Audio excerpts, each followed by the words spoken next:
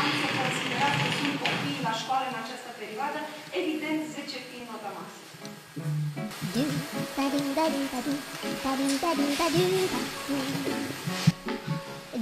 Da. Mulțumim.